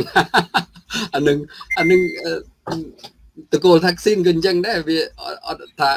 វាអត់ធ្វើមេឃឲ្យចាញ់ព្រីបហ៊ុនសែនអត់ទេមានតែហ៊ុនសែនទេដែលចាញ់ព្រីបហើយសុំស៊ូហ៊ុនសែនគេចង់ធ្វើមេឃ រវាងគេរវាងមុនគេគេតាក់ទងជាមួយនេះបុគ្គលបុគ្គលពីដល់តទៅឧទាហរណ៍ថាបើសិនគេចង់អឺធ្វើកលែងទេសចរមួយនៅនៅប្រាសាទព្រះវិហារអញ្ចឹងទៅបានឡើងជាបេតិកភណ្ឌពិភពលោកអញ្ចឹងទៅគេយកអាជាយដែនក្បែរក្បែរប្រាសាទព្រះវិហារហ្នឹងហើយវាបានផលប្រយោជន៍ជាមួយប្រទេស គេផងអញ្ចឹងទៅឧទាហរណ៍ថាបើសិនឡើងមកពីប្រទេសថៃអញ្ចឹងអាប្រទេសគេឡើងពីខាងហ្នឹងវាស្រួលផងទៅហើយប្រទេសខ្មែរឡើងទៅវាពិបាកអញ្ចឹងទៅហើយគេបានពាក់កណ្ដាលម្នាក់អញ្ចឹងទៅវាបានផលប្រយោជន៍ណាបានផលប្រយោជន៍ទៅលើអានឹងឯងវាអាចវាអាចជាគេហៅថាធ្វើឲ្យប្រជាប្រជាជនថៃហ្នឹងជឿទុកចិត្តពីតកូលថាក់ស៊ីនហ្នឹងទៅវាអាចវាអាច វាអាចបោះឆ្នោតពេលក្រោយហ្នឹងវាវាអាចមានបរិយាភាពកើតឡើងអានឹងឯងគឺគឺដែលដែលដែលដែលគេតេតងគ្នារវាងបុគ្គលជាមួយបុគ្គលសិនហើយតទៅមុខទៀតចាំគេតេតងជាផ្លូវការជាមួយនឹងរវាងរដ្ឋហើយនឹងរដ្ឋអញ្ចឹងអានឹងឯងគឺគឺគឺវាបានហើយពីដល់អញ្ចឹងទៅវាអាចជួយវាអាចជួយដោយថាមកគ្រាមកគ្រាអីអញ្ចឹងដោយថាសេដ្ឋកិច្ចនៅប្រទេសខ្មែរ យើងដឹងស្រាប់ហើយថាធ្លាក់ចុះពីដល់អញ្ចឹងវាអាចជួយអាតកូលហ៊ុននឹងបានដូចមកលើកឡើងមិញអញ្ចឹងគឺ100អឺឬ1000លានអីអញ្ចឹងគឺគេអាចជួយបានដែរតែតែមិនដឹងថាគេគេចរចាថាគេត្រូវការគេចង់បានអីពីប្រទេសខ្មែរមកវិញអានេះយើងអត់ដឹងទេអានឹងអីគឺគឺគឺគឺបញ្ហាដែលដែលដែលយើងព្រួយបារម្ភដែលដែលទៅជួបរវាងអឺបុគ្គល ក្រុមគ្រួសារថាក់ស៊ីនហើយនិងបុគ្គលក្រុមគ្រួសារតកូលហ៊ុនហ្នឹងអានេះនឹងអាត្មាសូមចូលរួមប៉ុណ្្នឹងអញ្ចឹងសូមច្រើនសូមកណាសូមអរប្រគុណព្រះអង្គនឹងតកតងជាមួយនឹងសំណួរនេះហើយខ្ញុំក៏មានចំណាប់អារម្មណ៍មួយតកតងនឹងសំណួរមួយសូមសួរបងមេងធីរាចុងក្រោយចុះព្រោះដោយសារកម្មវិធីរបស់យើងក៏រៀងចិត្តដល់ដែរប៉ុន្តែសូមបងបងមេងធីរាជួយជួយ ជួយឆ្លើយនឹងសំណួរមួយចុងក្រោយបងគិតថាចំនួនរវាងគណៈបករបស់ប្រទេសថៃនិងគណៈបករបស់ប្រជាជននេះវាវាវាអាចគ្រោះថ្នាក់ទេដល់ដែលសកម្មជនឬក៏គេហៅថាជនជីវិតខ្លួននៅក្នុងប្រទេសថៃក្នុងការស្នើសុំពីគណៈបកប្រជាជនក្នុងការ